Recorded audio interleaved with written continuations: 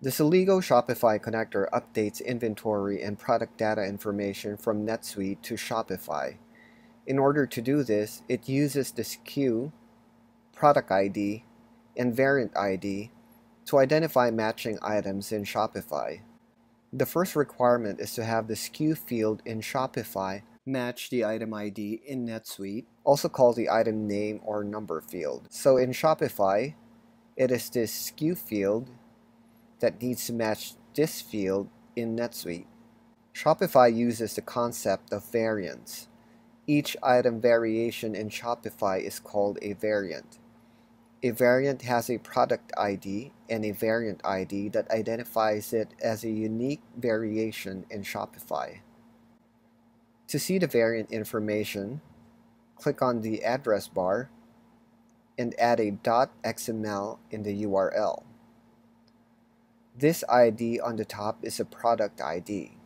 If you go into this variant section, you can see the SKU here, and the same product ID is shown here. The number right on top of it is a variant ID. On the NetSuite side, the Shopify connector utilizes a custom record called Celigo Shopify Item ID Map. This can be found under the Custom tab of the item record. You can see the variant ID, product ID, and the Shopify store here. The Shopify store identifies which store this variant is in. This is especially important when you have multiple Shopify store instances. Each store has a unique variant even for the same item. Click on Edit here to see the details for the item ID map. You can see the same variant ID, product ID, and Shopify store here. Additionally, there's a NetSuite item that this item ID map relates to.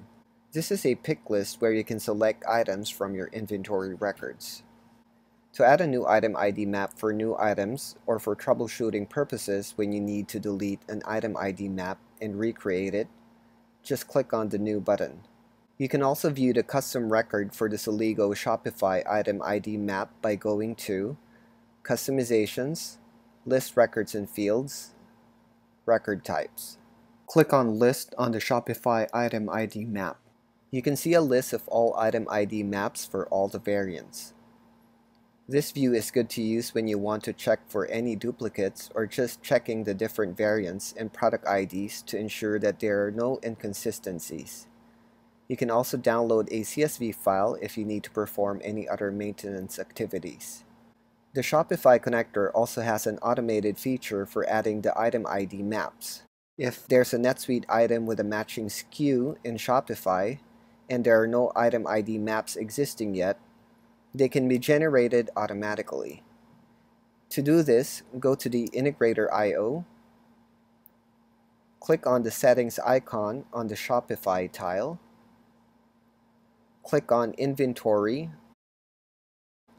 You can see the data flow with the name Shopify Product ID to NetSuite Item Mass Update. This is a data flow that looks for matching SKUs in both systems and will add or update item ID maps to ensure that items in both systems are linked correctly. You can run this flow manually or set it on a schedule.